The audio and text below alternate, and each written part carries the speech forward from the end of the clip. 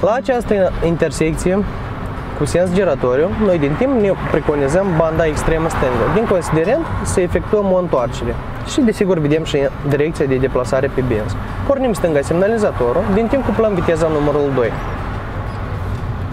Facem o analiză dacă din stânga vine cineva în direcția noastră de deplasare și îi oferim prioritate dacă vine. Apoi, când este liber, ne putem continua deplasarea, menținând banda numărul 2 pe sensul girator. Desigur, stăm în viteza numărul 2 și ne deplasăm cu o viteză mai micuță, mai pe stânga un piculeț. Ei bine. La părăsire pornim dreapta semnalizator, facem o analiză în oglinda din dreapta și ne părăsim sensul giratoriu pe banda numărul 1. Accelerare mai multă și cuplăm următoarea viteză. Menținem această bandă de deplasare și încercăm să percepem ce vrea cetățeanul ăsta să facă.